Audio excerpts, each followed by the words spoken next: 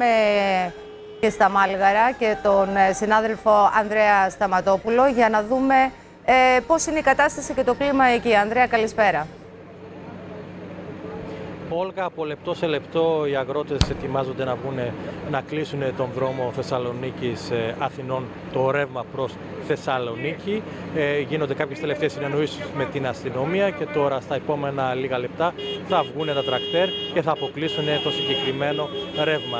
Ο αποκλεισμός θα έχει διάρκεια περίπου μία ώρα και θα είναι συμβολικός όπως μας είπαν προκειμένου να επικοινωνήσουν τα αιτήματά τους προς την κυβέρνηση και είναι προβληματισμένοι. Αύριο θα μετέχουν σε μια συνάντηση των αγροτών της Κεντρικής Μακεδονίας που θα γίνει στη Σύνδο της ε, Θεσσαλονίκης και είναι προβληματισμένοι όπως έλεγα καθώς έχει ακουστεί μια είδηση ότι ο Υπουργός Επικρατείας ο Μάκης Οβορίδης είπε ότι τελικά δεν θα γίνει η συνάντηση με τον Πρωθυπουργό την Δευτέρα και αυτό σημαίνει, όπως μας λένε κάποιοι από τους αγρότες, όχι, ότι όχι μόνο θα συνεχίσουν, αλλά θα, θα εντατικοποιήσουν θα τις, ε, τις κινητοποιήσεις τους. Ενδεχομένως να δούμε ε, περισσότερα κλεισίματα στους δρόμους, έτσι, πολύ ώρα κλεισίματα. Δεν ξέρω αυτό, προφανώς θα κάνουν κάποιες συνελεύσεις για να πάρουν τις τελικές αποφάσεις.